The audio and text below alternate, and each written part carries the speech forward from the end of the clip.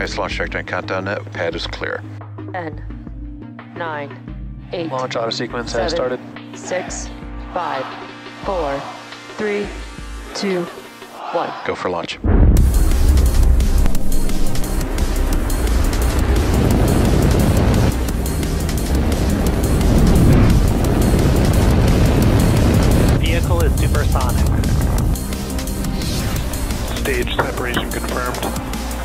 Dragon, separation confirmed.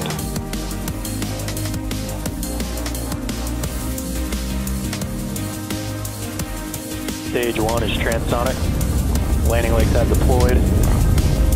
T-minus 15 And seconds. Falcon 9 has landed. T-minus 10, 9, 8, 7, 6, 5, 4, 3, 2, 1, 0. Liftoff.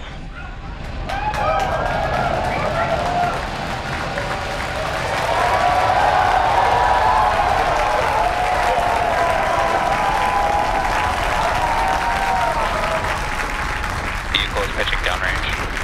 M1D chamber pressure is nominal.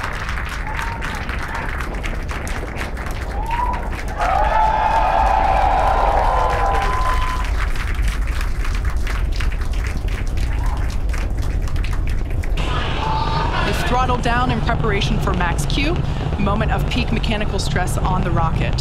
Falcon Heavy is supersonic. There we just heard the call out that the vehicle is now traveling faster than the speed of sound.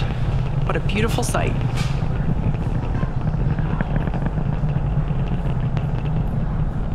Max Q. All right, there we just heard the call out. That is the moment of peak mechanical stress on the rocket. M1D engines throttling back up. A beautiful sight to see Falcon Heavy flying once again.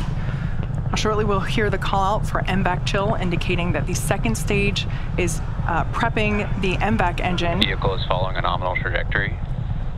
We will flow a little bit of the super chilled liquid oxygen through the turbo pumps on that MVAC in preparation for the full flow of the super chilled uh, propellant.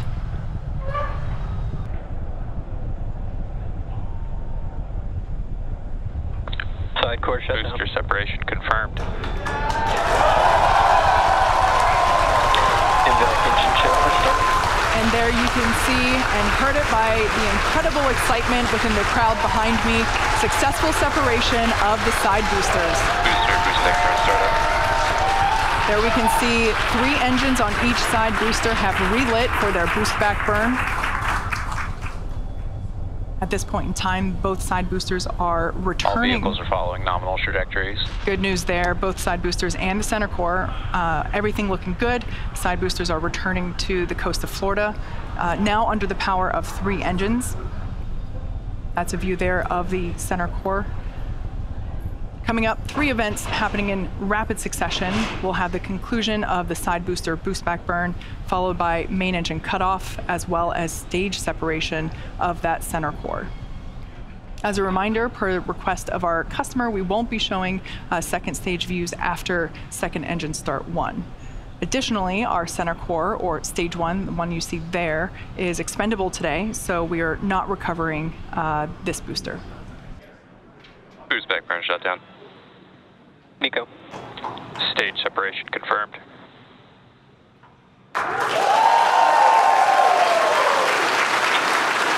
There, There you heard the call out and saw on your screen we had side boost back burn Center core FTS is safe. conclusion as well as the main engine cutoff and separation for that center core and we heard call out of second engine start one. Um, at this point in time uh, with that call out, Fairing separation confirmed.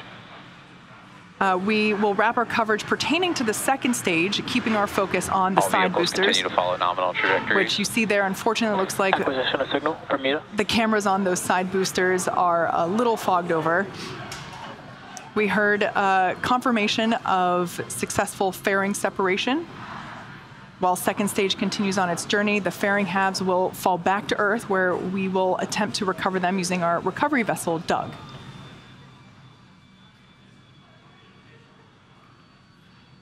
As a reminder, today we'll be attempting to recover the two Falcon Heavy side boosters on land. You can sort of make out some cloud coverage there in the background camera. Um, we'll bring that back to you whenever we're able. Now, in just a few minutes, the side boosters will execute uh, an entry burn followed by a landing burn. Both burns are meant to slow the side boosters down rapidly uh, before landing. At the time of separation, the side boosters were traveling slow enough to turn around and make their way back to land at, uh, at our side by side landing pads. If we have successful landings today, it will mark the 150th and 151st successful landing of an orbital class rocket. As I mentioned earlier, center core uh, is going to be expended and we are not attempting to recover it. This allows us to utilize All vehicles continue to follow nominal trajectories.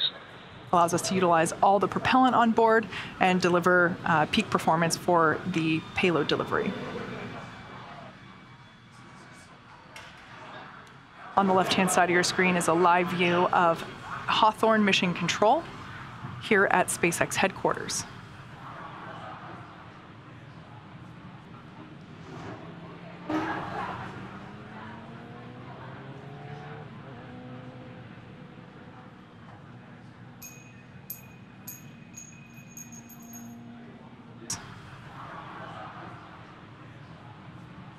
We're about 30 seconds away from the entry burn for the two side boosters. They're on the top and bottom of the right-hand side of your screen.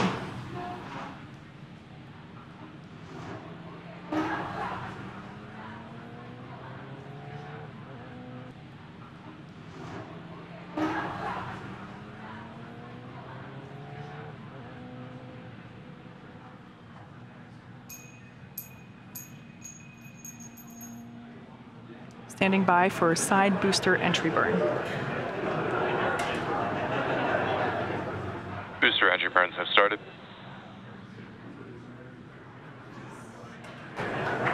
There we heard the call out that the booster entry burn has begun. Booster entry burn shut down.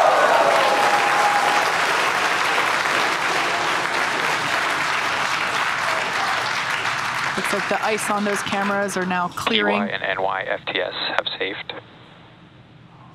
All vehicles continue to follow nominal trajectories. So that reentry burn has concluded. We're expecting the landing burn to begin in about 30 seconds. The entry burn intended to slow the vehicles down significantly as they re-enter the Earth's atmosphere. Amazing tracking cam views of the boosters as they return to landing zone one and two. We can see the grid fins there Both on side boosters transonic. Stage 2 FTS is saved. Stage 2 is in terminal guidance. We can see those grid fins steering the boosters for a precise landing. Again, we're attempting landing landing. Landing zone one and two.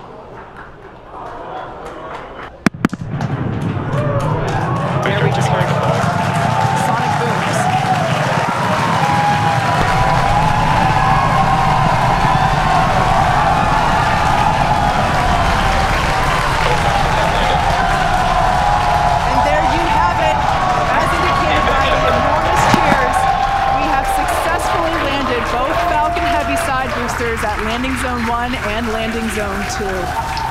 What an incredible sight. Nominal parking orbit. With these two side boosters, this marks the 150th and 151st overall successful landing of an orbital class rocket. This is the 21st landing at Landing Zone 1 and the fourth landing at Landing Zone 2. And with successful confirmation of our side boosters landing, that will bring today's webcast to a close. We'd like to thank the United States Space Force for entrusting us with today's mission. Thank you to the range and FAA for licensing today's launch. And we'd like to thank all of our viewers for tuning in for an exciting morning. Now, if you're interested, head over to our website and social media platforms for updates on our next missions and milestones. Hope to see you soon. Enjoy the rest of your day.